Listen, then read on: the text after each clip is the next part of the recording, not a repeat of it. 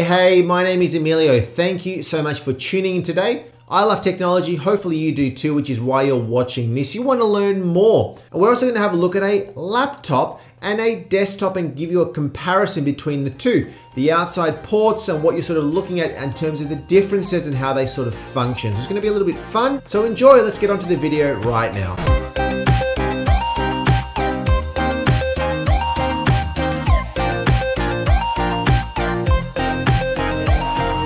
So here's a spread of some computers. You see we've got a mix of both desktops. These are four different sorts of desktops, different form factors. So some are bigger, some are slightly smaller.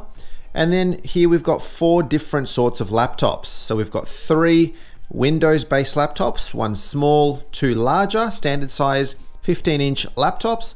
And then we've also got a Mac down the very back, that being a 13-inch uh, MacBook Pro.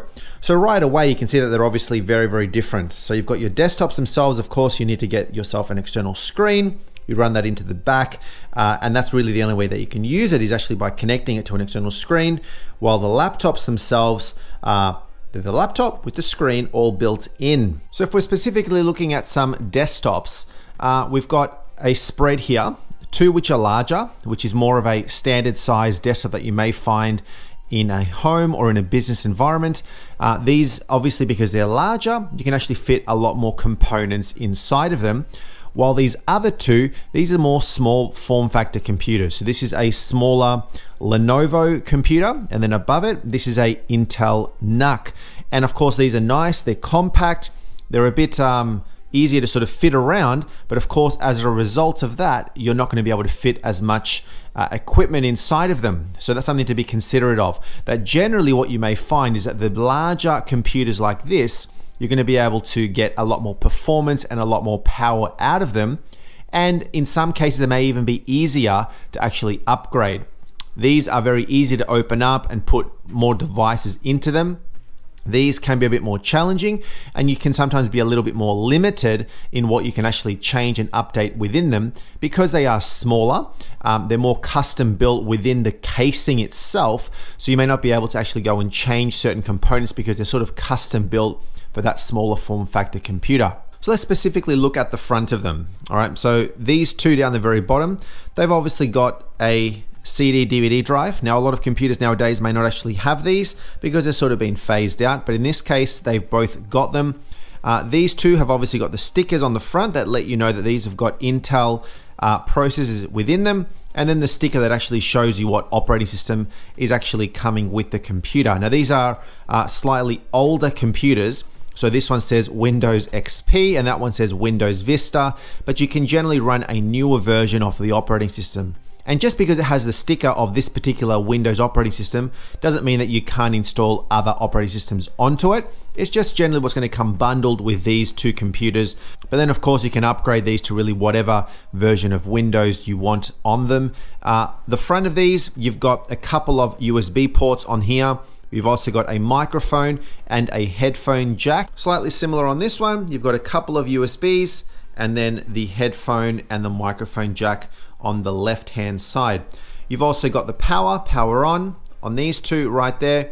And then you've also got some LED lights. This one doesn't have as many, but the actual power button itself is its own LED light, while this one has a couple of LED lights right there where you can see uh, essentially how the hard drive is performing and whether if it's powered on or not. So some of the desktops at the front may have uh, multiple LED lights to let you know the activity, the status, how the computer itself is performing, and others won't. These two at the very top, they're a lot more small, they're a lot more compact. On the top of this Intel NUC, you've got a power button on the very top, and on this one, this is a Lenovo, you've got a power button on the actual front. And you've also got a couple of USBs here and here. The different colors means that they're a different type of USB, different speed of USB. And then you've got a headphone and a microphone jack, while this one has just got the uh, speaker jack itself. So the back, there's a lot more going on in the back of these computers. Now, these two down the bottom, I did say that were slightly older. So there are some ports on here that you're not going to commonly find as much on newer computers nowadays. But let's just have a look at at least these two first. On the actual far right, you've got the actual power adapters, and of course that's where you run your power cable. They also call them kettle cables. and you run that into your power. And then there are fans and everything on the sides of that to make sure that everything there stays nice and cool. As on the front, you've also got your actual audio jacks, your ins and your outs, your inputs and your outputs for your audios, for your microphones, for your speakers on both of these computers. Uh, the top one right up here, we've got a whole stack of USB ports, right? At the moment, there are actually six USB ports here, and then there are a whole bunch on the front. So there's quite a lot of USB ports available You've also got your Ethernet point right there where you can run one of those blue network cables into there and then potentially get access to the network or get access to the internet. Here we got some uh, older cables. Generally not going to find at least these two as often. These are some older common printer port cables. You may not find these in modern day computers as much as you will in these older ones. But then here you've also got a uh, port to run a VGA screen. So you're going to run that into a cable and then potentially into a screen. Uh, this is an analog cable, so some newer computers, you're not going to have this one. You're going to have some different sorts of um, connections, which we'll find in these two up here. But that is a summary on here. On the left here, you've got a couple of slots. Now, this is the great thing about a desktop is you can customize this and add additional functionality. So once we open this up and we have a look at it inside, you will actually see that you can actually get access to the motherboard inside and actually buy and install additional cards where you'll be able to get additional port types, different functionality that you can add right into here, expanding everything that you've got over there. Similar to on the bottom, you've got all of these slots on the very far left of this computer. We can do something very similar and add some expansion ports. Let's look at some of the other ports here. Whole bunch of USBs there as well, your Ethernet, you've got your screen port, your VGA, the older ports that we mentioned before, and then you've even got some older school uh, mouse and keyboard. Now, you're really not going to see these anywhere anymore, but in the olden days before USB, keyboards and mice used to be plugged into these ports right there. So you may still have some computers laying around that have these ports, but that's what they are. And most most of the time now, you're not going to really use them. Um, if you've got a keyboard and mouse that um, has USB and you don't have any USB ports, you can also get adapters to run into there to convert that to USBs. But that's the back of those two. Let's look at the ones at the very top. Now, right here, you'll see this particular one has got a big antenna course, that is used for Wi-Fi. So uh, there is a Wi-Fi adapter inside of this. There is Wi-Fi in this one as well, but this particular one has an antenna. So you can screw that antenna out, you can put it back, you can get a new one, and you can see that actually adjust it. And what you would do is generally you would point this in the direction of your Wi-Fi modem, your Wi-Fi router, to be able to get your strongest Wi-Fi signal. But that's just there. It may not even be needed. Sometimes you could actually probably remove it and you still get pretty good Wi-Fi coverage. But Apart from that, we've got our um, we've got USBs. You've also got Ethernet. You've also got the VGA, very similar. It's just black here, but it's the same as this blue port right here. USBs, as I said, this is a display port. So this is more of a digital um, version of a display. So this is analog, this is digital. And you can run that into a screen that has a display port. You can also get adapters that convert display into other sorts of devices such as DVI or HDMI, which is other video types, but that's also available for you if you so choose to. And then there's a little port there to actually get a um, lock, so you can actually lock that computer right there. And then of course we've got our power. The one at the very top, this being our Intel NUC, this is the smallest one of them all. You've got a smaller form factor um, HDMI, so you can actually convert that to a larger HDMI, and that's what's going to be run also into a screen. You've got some USBs, you've got some grills here for fans, you've got the power running in.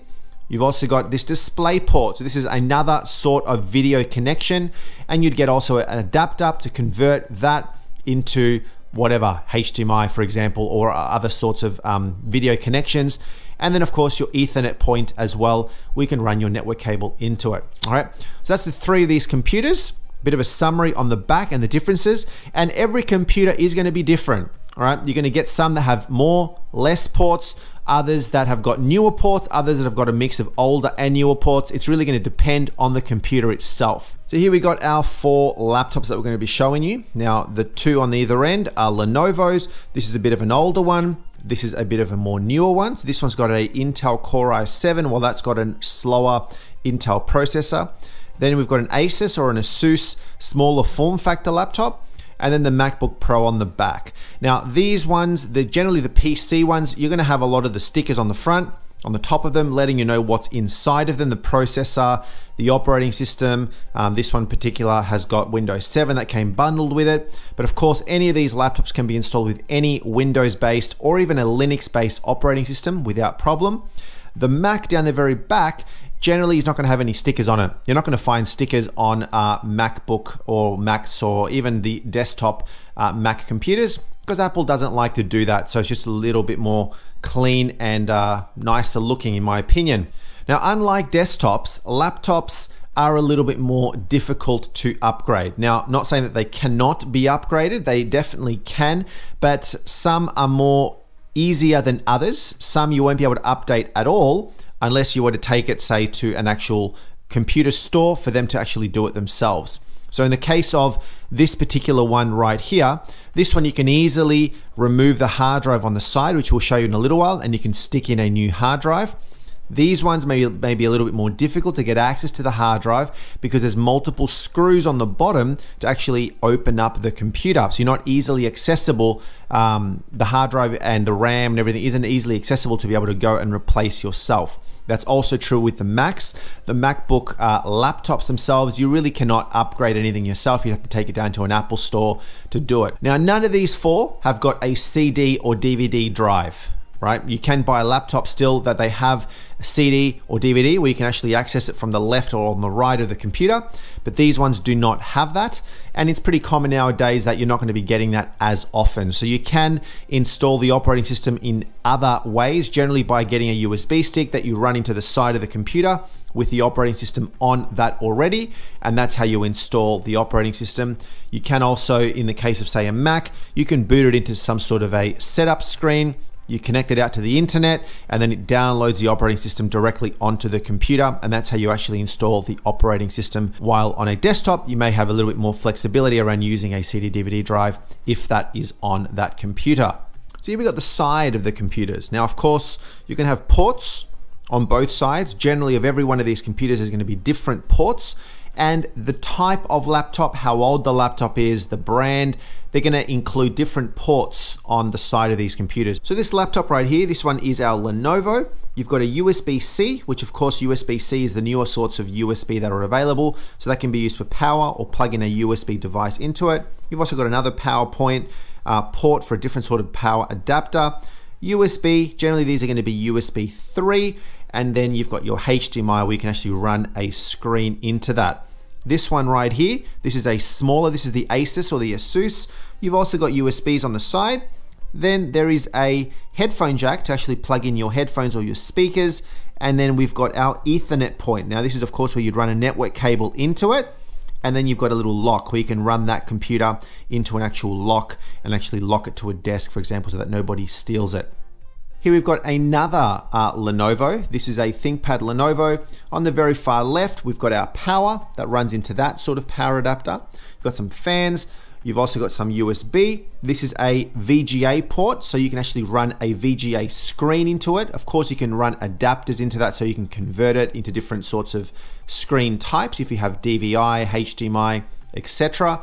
You've also got another USB on this side, and now you've also right here got another Ethernet point. Now, what you'll find is not all laptops nowadays have got Ethernet, or at least you don't have the port available because as the laptop gets skinnier, in the case of this one, which we'll look at in a second, there is no space for an Ethernet port. So here you can run a network cable right into it.